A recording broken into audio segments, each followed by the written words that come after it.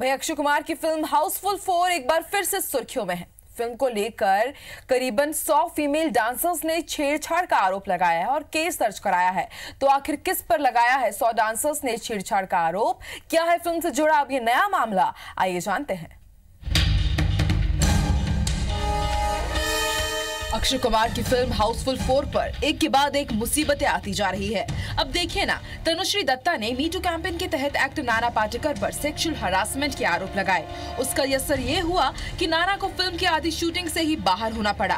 और ये मामला शांत भी नहीं हुआ कि फ़िल्म डायरेक्टर साजिद खान पर भी कई महिलाओं ने सेक्शुअल हरासमेंट के आरोप लगा दिए, जिसमें विपाशा बसु, दिया मिर्ज़ा जैसी एक्ट्रेसेस तक के नाम शामिल है। नाना पाटेकर के बाद डायरेक्टर साजिद खान को भी फ़िल्म छोड़नी पड़ी। हाउसफुल फोर के एक्टर अक्षय कुमार को भी सामने आकर बयान देना पड़ा की जब तक साजिद खान और नाना पाटेकर आरोप मामला साफ़ नहीं हो जाता, ये दोनों फ़िल्म का हिस्सा नहीं रहेंगे। कुछ दिनों तक फ़िल्म की शूटिंग लटकी रही। फिर साजिद खान की जगह हाउसफुल थ्री के असिस्टेंट डायरेक्टर फरहाद सामजी को हाउसफुल फोर फोर की कमान सौंपी गई और नाना पाटेकर के रोल के लिए राणा दगुपति को लिए जाने की बात सामने आ रही है।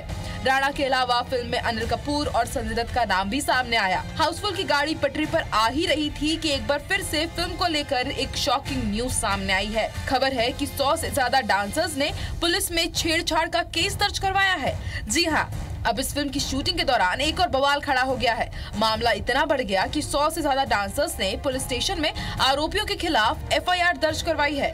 जानकारी के मुताबिक हाउसफुल फोर फ़िल्म की शूटिंग के दौरान डांसर्स ने आरोप लगाए हैं कि कुछ लोग ज़बरदस्ती सेट पर घुसाए और महिला डांसर्स के साथ छेड़छाड़ करने लगे। इस मामले में दो लोगों का नाम सामने आया है, जिसमें से एक आरोपी का नाम पवन शेट्टी बताया जा रहा है।